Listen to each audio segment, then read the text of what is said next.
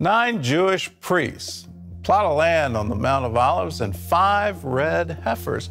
All these elements are in place for what some Jews and Gentiles believe is the key to building the third Jewish temple. Some also believe it indicates the coming of the Messiah.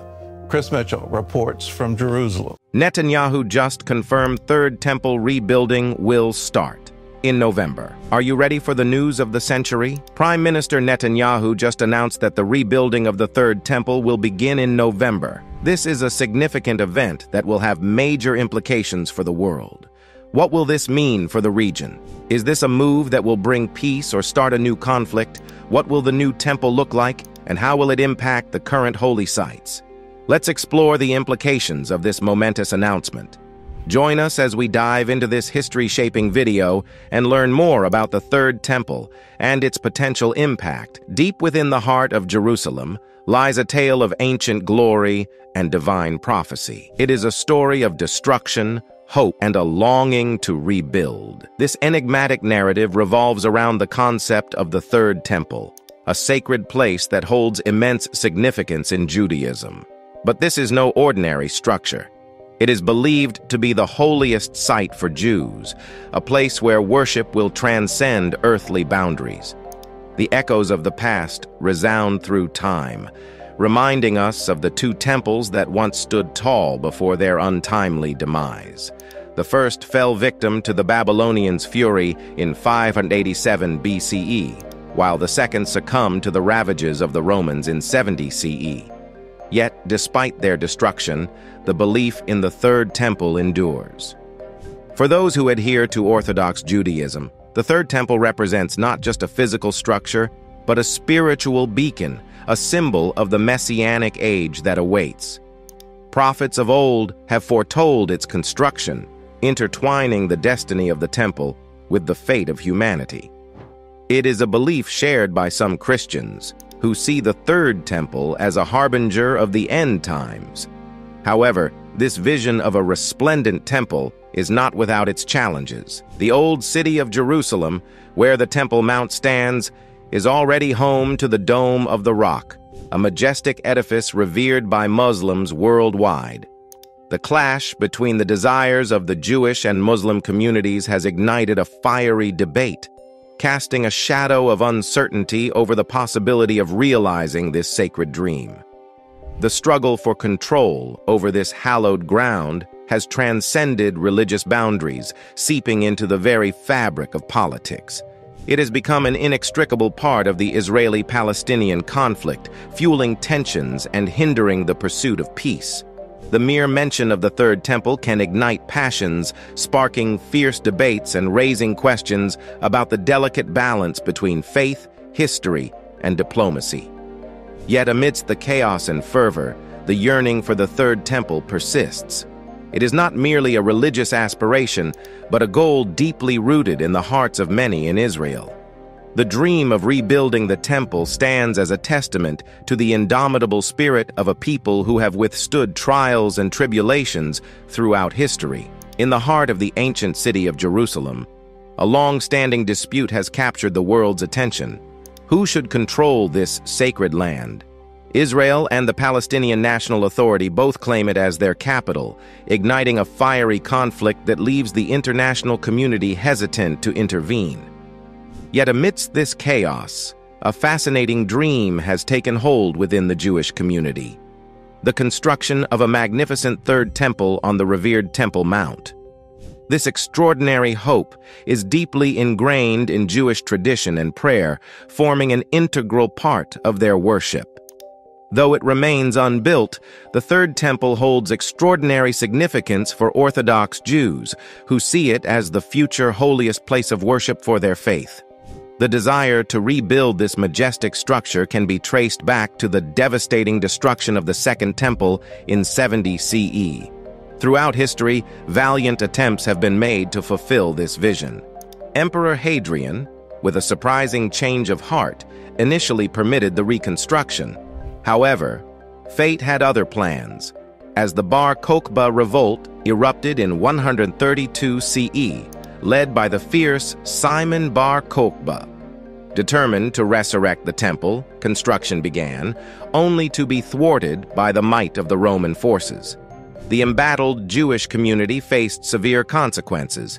Their city was renamed, and access to Jerusalem was strictly limited except on Tisha B'Av, a day of mourning. Undeterred by these setbacks, even more audacious plans emerged. Julian the Apostate, a Roman emperor, sought to rebuild the temple in 361-363 CE. Surprisingly, he allowed the Jews to take part in this grand endeavor, offering financial support.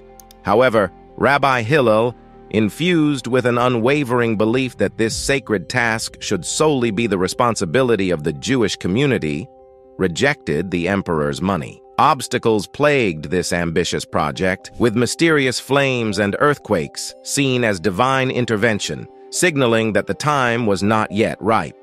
Over the centuries, opportunities ebbed and flowed. In 610 CE, the Sassanid Empire briefly granted control of Jerusalem to the Jewish people. Excited whispers of animal sacrifices resuming floated through the air, a glimmer of hope in their cherished dream. Alas, the Byzantines swiftly reclaimed the area, transforming the unfinished structure into a desolate garbage dump.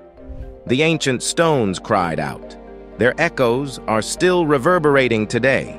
Amidst the tumultuous history of the Muslim conquest, Jews and Arabs found themselves in conflict. However, an incredible proposal for unity emerged under the banner of Abraham by none other than the revered figure Muhammad. Jewish people began the arduous task of rebuilding the temple, only to be displaced by Arabs who repurposed the site for prayers. This clash of cultures continued over the centuries, with sparks of hope for the temple's restoration in the midst of Jerusalem's desolation. Fast forward to Israel's capture of the Temple Mount in 1967, and a fervent movement for Jewish sovereignty took hold. Rabbi Shlomo Goren, the chief rabbi of the IDF, defied norms and led Jews in a daring prayer service on the Temple Mount, despite resistance from Muslim guards and police. His bold stance drew criticism from the defense ministry, but he remained resolute in his pursuit of Jewish sovereignty. Other key figures, such as Chief Rabbis Unman and Nim, reinforced laws against Jewish access to the Mount in an attempt to prevent conflicts. While mainstream orthodoxy awaited divine intervention, the Temple Institute took an active approach to bring about the construction of the long-awaited Third Temple. In 1983, Rabbi Goren claimed to have seen the mystical Ark of the Covenant, further fueling the desire for rebuilding. The rabbi's prohibition on Temple Mount entry remained intact for years, but in 2014, 400 Jews defied the ban and prayed there, showcasing the ongoing tension surrounding this holy site. The road to rebuilding the Third Temple is riddled with obstacles, primarily due to the presence of two ancient Islamic structures, the Al-Aqsa Mosque and the Dome of the Rock, on the Temple Mount. Any attempt to alter or construct Jewish structures near these sacred sites could ignite severe international conflicts, given their deep Muslim associations. Complicating matters further, debates persist regarding the precise location of the Second Temple, adding layers of complexity and uncertainty. Orthodox Jewish scholars mostly reject immediate attempts at rebuilding, instead choosing to await the arrival of the Messiah. The lack of consensus on the exact cubit measurements used in the temple's construction only further complicates efforts. The Talmud recounts that the Second Temple was only made possible through direct prophetic revelations from figures such as Haggai, Zechariah, and Malachi. In a shocking revelation, an investigation by Haaretz has exposed the financial support from Israel's deputy defense minister and a key U.S. donor, Prime Minister Benjamin Netanyahu, towards initiatives aiming to reinstate Jewish control over the Temple Mount. This raises questions about the Israeli government's stance on Temple Mount developments and its ties to the long-awaited establishment of a third temple. Despite Israel officially opposing changes to the status quo, it is revealed that the country funds the Temple Institute, which is directly linked to efforts for a third temple. Even more intriguingly, the investigation has uncovered that the U.S., while outwardly against altering the Temple Mount's status quo, indirectly supports the Temple Institute through tax-exempt donations. These financial ties involving key players like Rabbi Yehuda Glick cast a suspicious light on the Israeli government's true intentions. But let us delve deeper into the intricate web of historical and archaeological significance surrounding the proposed location for the reconstruction of the temple. The anticipation of rebuilding the Third Temple is undeniably intertwined with the City of David, a name that echoes through the biblical passages and holds immense historical significance. In 2 Samuel 5:9, the mention of the City of David serves as a guiding beacon for explorations into its mysterious past. Recent archaeological excavations within the City of David have unearthed the remnants of five interconnected urban sites dating back to approximately 1000 BC, aligning with the reign of King David. The remarkable resemblance in design and intricate details of these cities fuels speculation about the existence of a sophisticated monarchy, possibly anchored by a central stronghold associated with King David himself.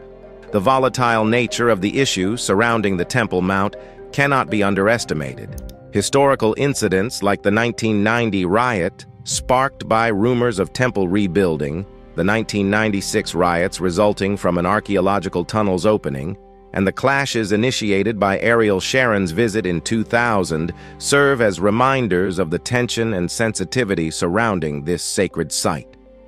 These incidents highlight the ongoing struggle to maintain a delicate balance and the potential for further unrest.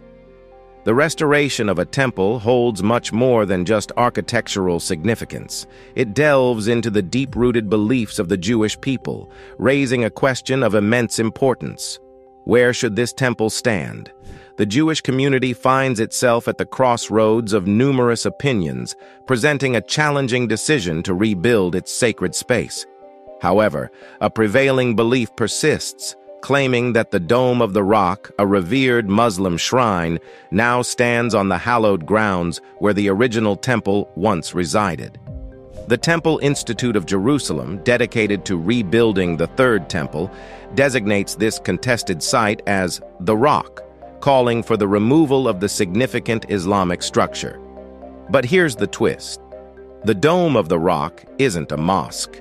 It carries immense religious and historical value, leaving many to ponder the possibility of a Jewish temple coexisting alongside it. The debate is fierce, encompassing historical, religious, and even political dimensions. This thought-provoking conversation extends far beyond religious beliefs. It dives into archaeology as well as geopolitical considerations. As the world watches with bated breath, this ongoing dialogue could potentially reshape religious history. The resolution of this critical matter could, quite literally, shape the future of this sacred location.